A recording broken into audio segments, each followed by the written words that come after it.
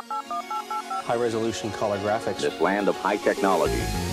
The revolution in technology that made the information age possible. Those kids are not afraid of computers. Welcome to This Week in Retro for the week of August 3rd, 2020.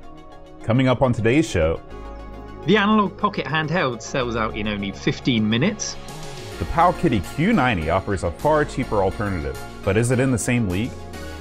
Myst gets an 8 bit demake. A new sampler lands for the Amiga, The co creator of the Humble Mouse has passed away. and Elite Hyperspaces on to the Vectrex. All this and more on This Week in Retro. Up to date news, for out of date tech.